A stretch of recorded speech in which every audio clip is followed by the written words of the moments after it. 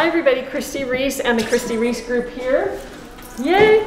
And we are here today to present our $10,000 check to Roger Sheffield, who's a representative of Mind Springs uh, with Mind Springs Foundation. And Shiera Cabarro, thanks for being here too. Are you Thank on you. the board? I'm helping in the fundraising efforts. helping on fundraising Yes. efforts. We appreciate that so much.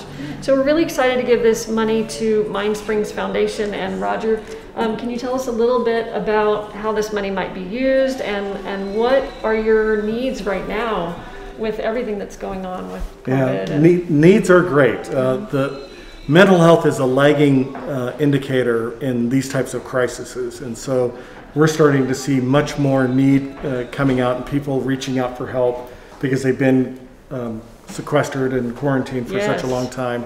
And now they're saying, okay, uh, we're not ready yet to come out, and they've, and they've dealt with some anxiety issues, some PTSD issues, as well as unfortunately some alcohol abuse, some sobriety issues. So there's a number of things that, that we help out with. But Mind Springs itself is the largest provider of community based mental health services in the state of Colorado. Wow. We cover 10 counties in northwest Colorado, 23,000 square miles.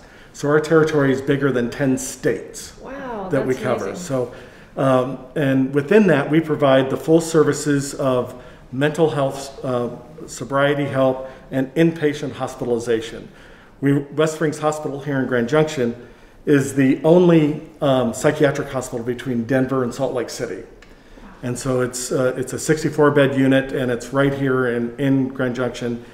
Um, if, if you need any help, if you, if you need help for a friend, if you need help for yourself, just call us at, at the Mind Springs office here locally and we will, excuse me, uh, these masks are getting a little bit in my mouth. But we are more than happy to help out anybody.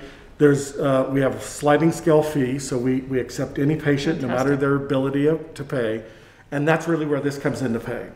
This, this helps us make sure that we help everyone and that no one is left, left out or left behind who is suffering from a crisis or a mental illness or a sobriety issue.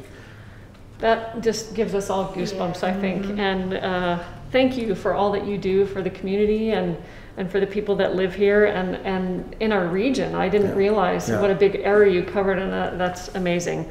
Um, of course, there's a lot of need with a lot of groups, but we are just uh, over the moon to be able to help in this way to Mind Springs Health and the Mind Springs Foundation. Thank you, Roger. Thank you. All right. Thank you very much. Thank you all.